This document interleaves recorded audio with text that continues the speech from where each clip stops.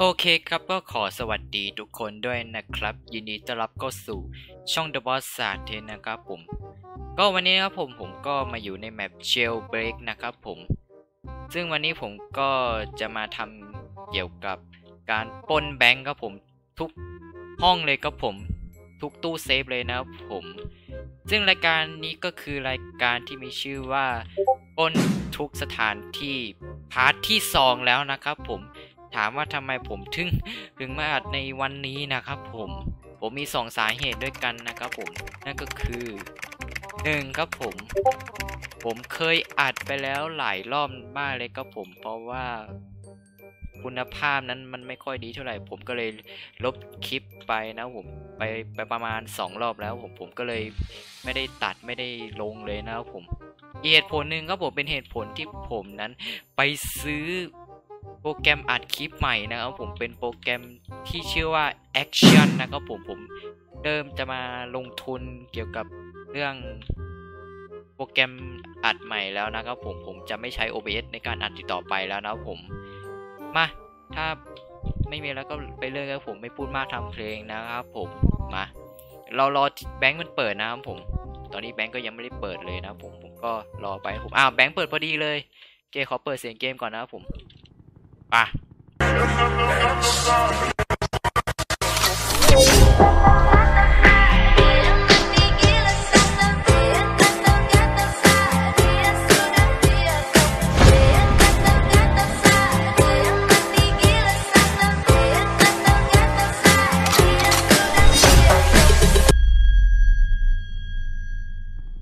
ตอนนี้ผมก็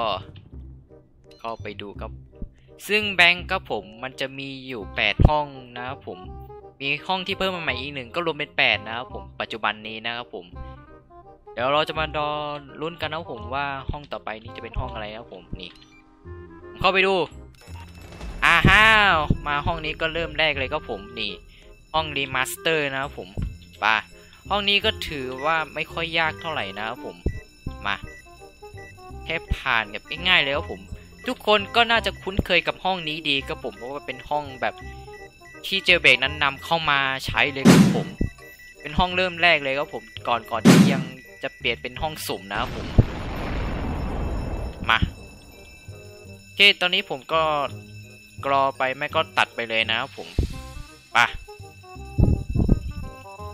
โอเคตอนนี้ผมก็ครบ4,000แล้วนะครับผม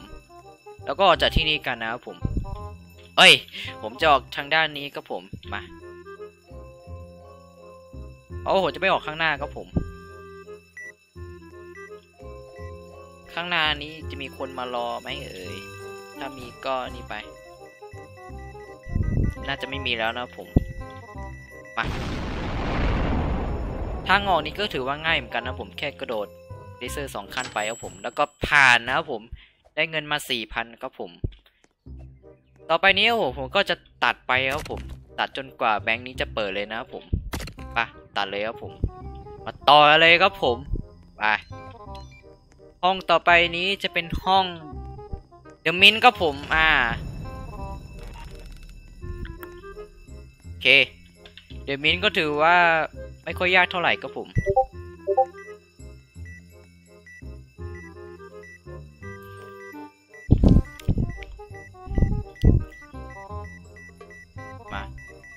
แล้วก็ผมก็ครั้งนี้เหมือนเดิมครับผม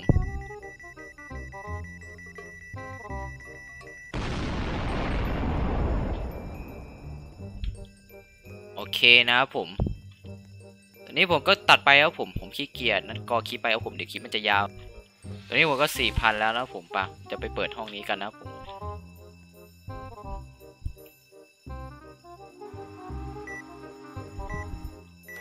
ถ้ามีคนช่วยก็ยังดีนะ จะได้นี่หน่อยถ่วงเวลา ตอนนี้มีคนเข้า Discord ผม ไม่แปลกใจที่ผมนั้นเชิญน้องคนนี้เข้ามาร่วมด้วยกับผม แต่ว่าผมก็ไม่ให้เขาพูดนะผม มา แล้วเราก็ผ่านไปก็ผม สองห้องนี้ผ่านก็ผมรีมาสเตอร์ ผมให้เป็นพาส อีกห้องหนึ่งเดมินพาสสองพาสแล้วนะผมผมเดี๋ยวผมก็จะตัดไปครับผมเดี๋ยวผมจะมาบอกห้องนี้ด้วยครับผมว่า ห้องนี้ผมให้ระดับนี้เป็นระดับเป็นมีเดียมครับผมเป็นระดับปานกลางนะครับผมก็ถือว่าปานกลางแค่เฉพาะตรงทางออกที่ผมออกไปนะครับผมโอเค ระหว่างนี้ผมก็ตัดไปครับผมไปโอเค ตัวนี้ผมก็มาแล้วแล้วผม เราจะไปลุยที่แบงค์ที่ห้องต่อไปกันเลยนะครับผม อะแล้วเข้าไป แล้วก็เช็คดูว่าเป็นห้อง underwater ครับผมอ่าเป็นห้องที่ 3 แล้วนะครับผม อย่างที่บอกไปก็จะไล่จากง่ายปานกลางนี่ไปหน่อยครับผม เดี๋ยวเดี๋ยวเดี๋ยวขอเปิดประตูนี้ก่อน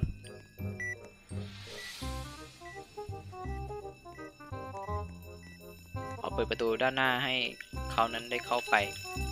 โหลเอ้ยเอ้ย เข้ามาเข้ามาเข้ามา ไม่เข้ามาวะ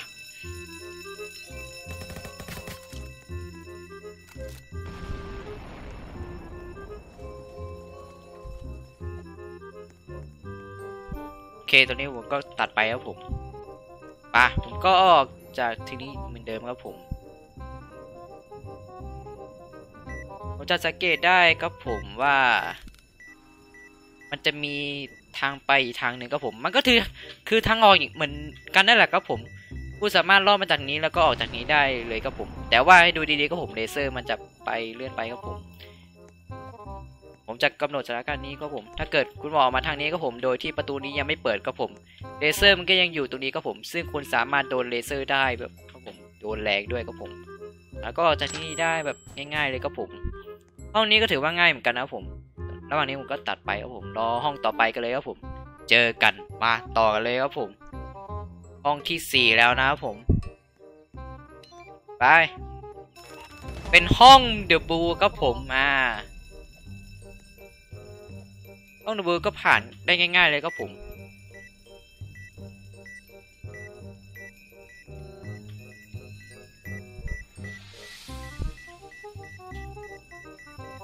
มาแล้วเราเราเปิดประตูไปครับผม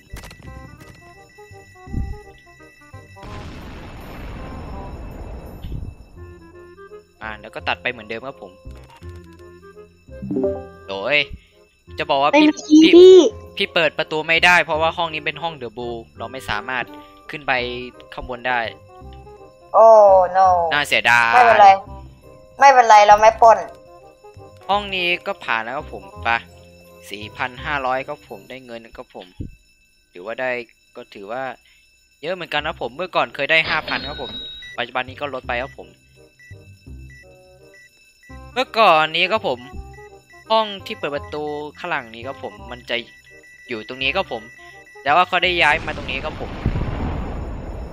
แค่ง่ายๆเลยก็ผมแค่ย้ายมาก็ผม แล้วก็ห้องก็เหมือนเดิมก็ผม ทางออกนะครับผมไปห้องนี้ผ่านก็ผมไปผมก็ติ๊กไปเลยก็ผม ห้อง underwater ผ่านแล้วก็ผม แล้วก็ห้องบูผ่านก็ผมทั้งสี่อย่างที่ผมเขียนมาก็ผมโอ้เรียงกันมาเลยก็ผม เป็นห้องระดับ easy ทั้งนั้นก็ผมแล้วก็ดม medium ไปอีกหนึ่งด้วยครับผม ป้าแล้วก็ตัดไปที่ห้องต่อไปเลยครับผมไปไปต่อเลยครับผมเอ๊ะแล้วก็เปิดป้าห้องต่อไปนี่เป็นห้อง The Basement ก็ผมอ่าห้องนี้ก็ผมเป็นห้องที่ห้าแล้วนะครับผม เป็นห้องใหม่ล่าสุดเลยครับผมนี่ห้องนี้ครับเดี๋ยวจะมาดูห้องใหม่ด้วยครับผมว่าจะมีอะไรแบบซีเคดบ้างครับผม นี่ก็มีเงินคลังไปเต็มทั่วหมดเลยครับผม ที่มันชื่อว่าเบสเมนต์นี่ครับผมมันก็บ่งบอกถูกมันก็แปลว่าห้องใต้ดินครับผม แต่ว่าที่จับทาดูทุกห้องนี้ก็ผมมันก็ปือมันก็คือห้องใต้ดินทุกห้องนั่นแหละครับผมห้องที่ผมปล้นมาหลายๆรอบครับผม ห้องใต้ดินเหมือนกันครับผม แต่ว่าห้องใต้ดินนี้เป็นของจริงครับผม เป็นห้องคลังคลังเก็บเงินเลยครับผม เป็นธนาคารโลกได้เลยครับผม ถ้ามีแบบนี้จริงๆครับผมนี่ครับผม คือเราก็ ก็เรายังไม่เคยดูในจริงในชีวิตจริงว่าว่าห้องแบบนี้มันจะเป็นห้องแบบไหนครับผม แต่ว่ามันก็อยู่ในเกมนี่แหละครับผมในชีวิตจริง เราจะไปคิดได้ยังไงวะ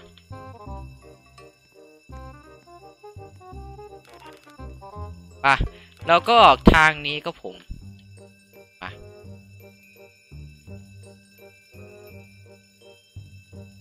แล้วก็รอเปิดไป ดูซีเคตตรงนี้สินี่มีแผ่นตรงนี้ด้วยเนี่ย ถ้าเกิดเข้าไปได้คือแบบ มันจะมีซีเคตทางออกอยู่นะ แล้วก็มาดูข้างหลังนี้ก็ผม ให้มองจากข้างล่างดูก็ผมเดี๋ยวนะนี่นี่มันจะมีทางไปอยู่ก็ผม ชั้นใต้ดินอีกห้องหนึ่งก็ผม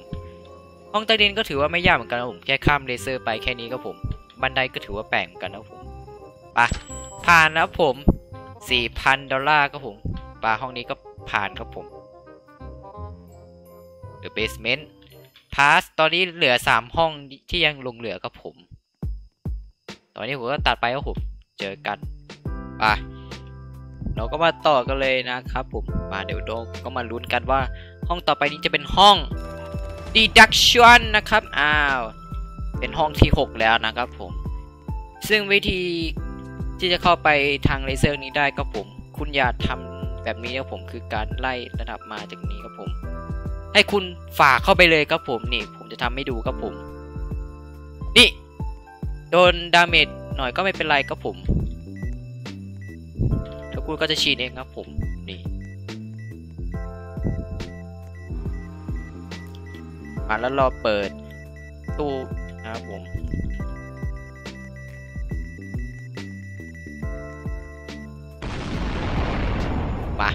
แล้วเราก็เข้าไปที่ตู้เลยครับผม เงินที่เราได้ก็ 4,500 นะครับผมถือว่าได้เยอะเหมือนกันนะครับผมจากที่เมื่อก่อนมันเคยได้ประมาณแค่ 3,500ครับผม แต่ว่าเพิ่มขึ้นเป็นอีกพันหนึ่งครับผม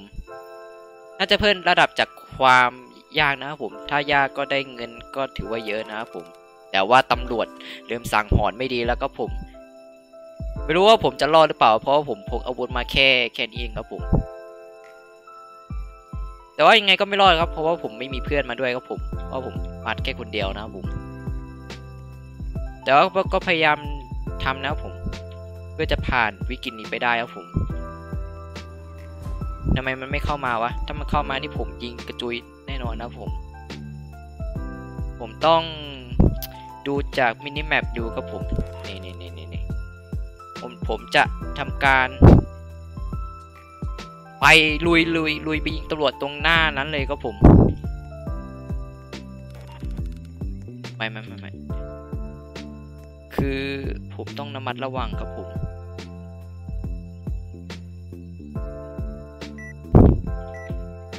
เดี๋ยวเดี๋ยวเดี๋ยวเดี๋ยวทำไมตำรวจมันไม่เข้ามาวะเนี่ย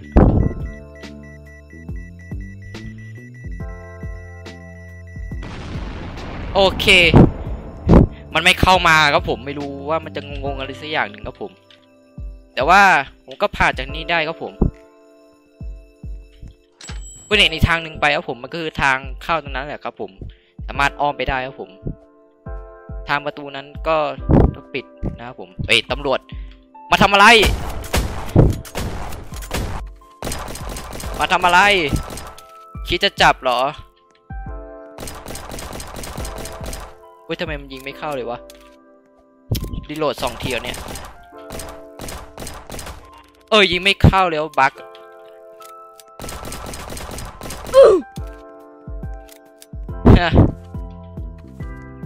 ไปเราก็รอแล้วผม แล้วก็ไปต่อที่ห้องต่อไปเลยครับผม เรามันก็ตัดไปครับผม เจอกันมาต่อกันเลยนะดูนอีกรอบหนึ่งมาห้องนี้แหละครับ Corridor มา ห้องนี้ก็ผมก็ง่ายๆเลยครับผม ให้มาเปิดประตูนี้ก่อนนะครับผม มา ให้ดูลักษณะห้องดีๆครับผม คือคุณสามารถผ่านลอดจากนี้ไปได้เลยครับผม คือมันมันง่ายมากเลยครับผม ตรงนี้ครับผม แต่ว่ามันจะเสียเวลาหน่อยครับผม นี่ ห้องนี้นะแล้วเราก็ต้องมาเปิดประตูนี้ครับผม แล้วก็จะมาดูทางออกกันนะครับผม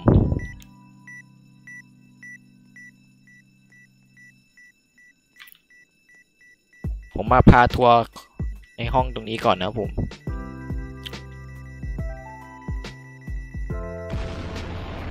อย่าอยู่ใกล้เด้อไม่มันไม่งั้นจะกระเด็น ห้องนี้ก็ได้ห้าพันนะผมถือว่าได้เยอะเหมือนกันนะมาแล้วเราก็รอไปครับผม คือนะผม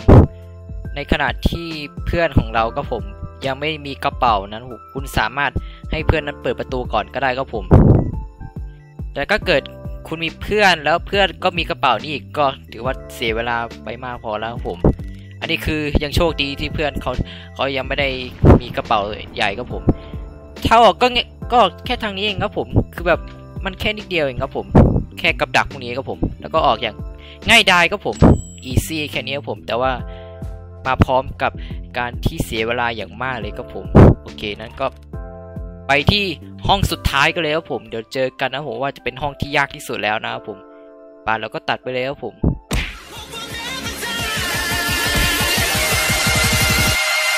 ว่าต้องใช่ ต้องใช่แน่ๆชัดเจนในที่สุด ห้องสุดท้ายแล้วนะครับผม ผมเบียร์จะบอกครับผม คือผมหาห้องนี้มาแสนนานมากมากเลยครับผม โอ้เพิ่งมาหาเจอในตอนนี้เองครับผม จะบอกผมหาไปประมาณสิบกว่ารอบแล้วผมก็ไม่เจอสักทีนะผม ซึ่งนะผมอันนี้ก็เป็นห้องสุดท้ายแล้วนะผมที่ผมนั้นจะจบคลิปนะผมก็รวมไปประมาณ 8 ห้องนะผมปะเราก็เปิดรอห้องไปเลยครับผม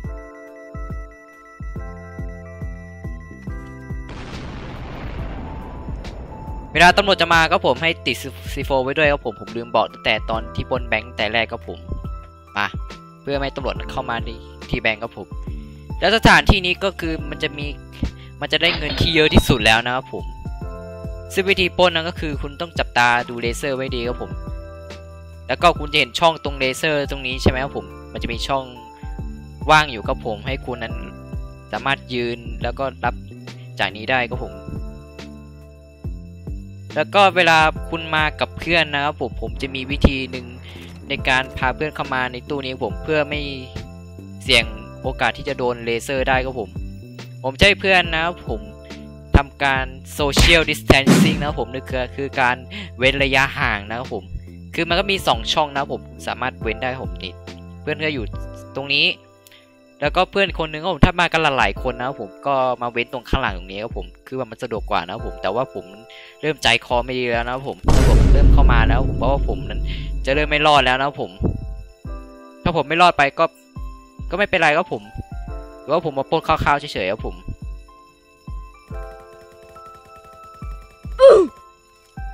เอ้ยเอ้ยแต่ว่าเพื่อนเรานะผม สามารถยิงตำรวจได้ครับผม สุดยอดไปเลย มา แล้วก็ได้ประมาณ 7,500 นะครับผมโอ้โหไม่ก็ถือว่าได้เงินเยอะมากสุดสำหรับมิวเซียมแล้วนะผม